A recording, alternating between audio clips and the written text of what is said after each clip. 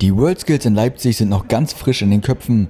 Da wartete schon der nächste, aber vorerst auch letzte Höhepunkt auf unser deutsches Team. Bundeskanzlerin Dr. Angela Merkel nahm sich die Zeit und empfing unsere Mannschaft im Bundeskanzleramt. Ach, es war grandios. Also so ein Empfang von, von der Bundeskanzlerin, glaube da träumen manche Leute von. Und wir hatten die Ehre, jetzt heute da zu sein und es war toll. Also mal Frau Merkel so aus der Nähe sehen zu dürfen, das war schon ein Highlight. Ja, auf jeden Fall interessant. Ich denke, in der beruflichen Karriere kann das nicht jeder von sich behaupten, dass er mal von der Bundeskanzlerin eingeladen wurde.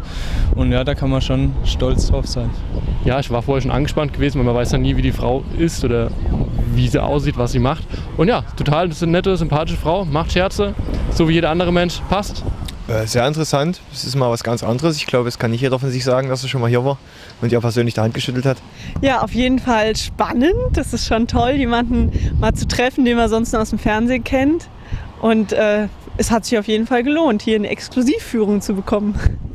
Rundgang durchs Gebäude, Pressetermin und im Anschluss privater Empfang bei Kaffee und Kuchen. Der Tag war komplett durchgeplant. Und nach kurzen Ansprachen der Bundeskanzlerin und von Dr. Theodor Niehaus blieb dennoch Zeit, sich mit der Kanzlerin zu unterhalten.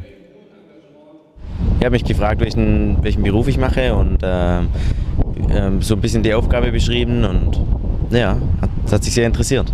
Ja, sie hat halt gefragt, äh, was, wir, was wir damit gemacht haben, ob wir verschiedene Aufgaben lösen mussten, wie viel Zeit wir dazu äh, bereitgestellt hatten. Ich habe mich noch vorgestellt, was ich gemacht habe und habe gesagt, sie kann gerne mal kommen zum Friseur. Und hat sie ja gesagt, oder? Ja, sie hat gesagt, sie guckt mal vorbei. Es war ein schöner Abschluss für eine intensive Zeit. Doch ganz aus den Augen wollen sich unsere Teilnehmer nicht verlieren.